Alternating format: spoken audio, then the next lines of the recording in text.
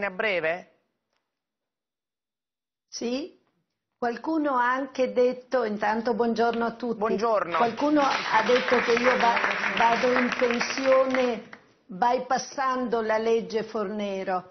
Non è così, io vado in pensione al di là dei limiti che sono stabiliti in generale eh, per Ci vuol tutti dire i quanti anni ha, anche se alle signore E- non si chiede mai?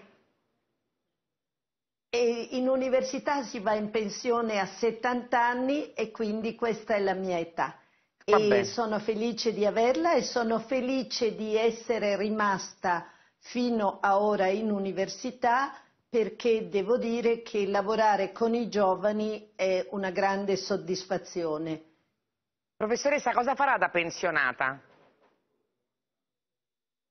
Molte cose, intanto continuerò spero a studiare e a fare ricerca, perché guardi, oggi si parla molto di eh, apprendimento lungo tutta la vita, ma è una cosa che noi prendiamo troppo poco sul serio. In realtà è vero che si può apprendere a tutte le età, ma è anche vero che magari diciamo eh, tenendo in considerazione la mia lunga esperienza anche di docente, io potrò magari anche dedicarmi a qualche attività di formazione. In particolare io do molta importanza a un tema che oggi è considerato estremamente importante a livello internazionale, Mm. che è quello della educazione finanziaria di base. Vuol dire che oggi per essere cittadini, cittadini consapevoli, cittadini responsabili,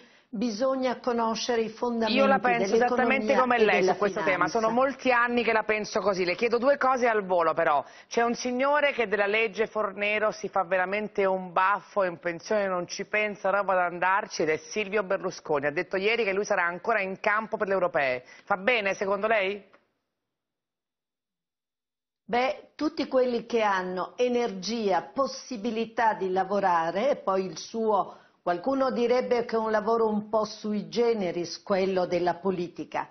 In ogni caso, quello che è importante, se si ha la salute, è continuare a impegnarsi. Quindi, sotto questo profilo, Bene. tanto di cappello. Ok, allora un- la, la benedizione della Fornero per Berlusconi. Mi dica un'altra cosa, visto cosa ha detto Casalino in questo messaggio vocale mandato a un giornalista, se dovesse venire fuori che i soldi non li hanno trovati nel 2019